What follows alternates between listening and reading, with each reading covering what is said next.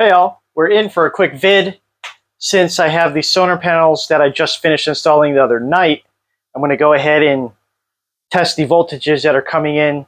So right now I have the van parked outside in the sunlight. It's about 5 p.m. so it's not going to be full power, but it's enough to make sure the panels are working as they should since they're connected in series.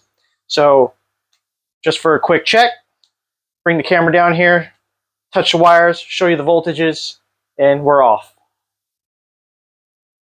Okay, what we have here are the two 250 watt panels and what we're looking for is because they're wired in series it the specs say it should pump out about 48 volts max in series since each panel is 24 volt max and so when you wire them in series the voltages add so you should see 48 volts and usually panels are underrated so you could see more voltage than what it's specced out at.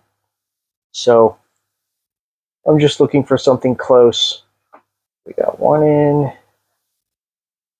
another one oh, needs to be on DC. All right, there we go. So we got about 50,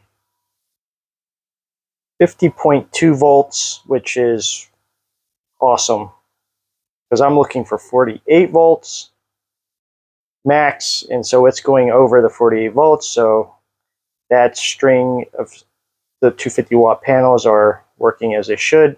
So now I'm going to bring over the uh, 250 watt panels, which is 100 watt. So those are spec'd at 19 volts each panel.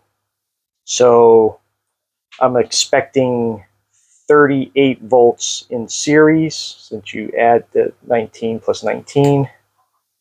Just tape these back up so we don't get shocked. So, aside.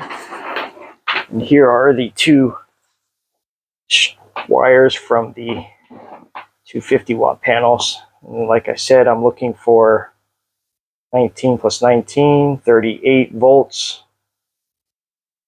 is what the specs say. So 38 volts or more, I'll be happy. If I can get this to stay.